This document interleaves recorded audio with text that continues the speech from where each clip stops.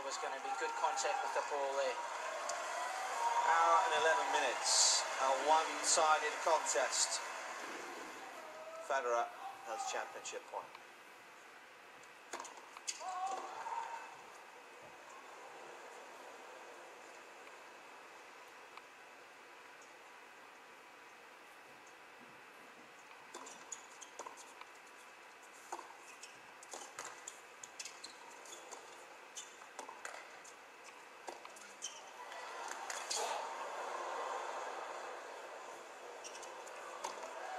Brilliant.